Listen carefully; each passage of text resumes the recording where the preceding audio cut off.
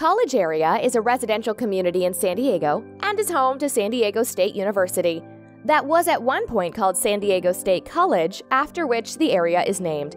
College Area offers many delicious restaurants, such as Tokyo Sushi Loha, Alforon Mediterranean, and Eureka, home to a delicious butcher's steak dip sandwich.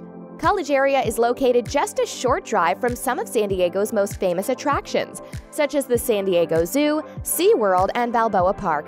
It also holds some of San Diego's sporting events and concerts at Viejas Arena. If you're looking to take a scenic walk or jog, we recommend Chollas Lake Park. Here you'll find a nice shaded trail around the reservoir, as well as a pier and a playground for the kids.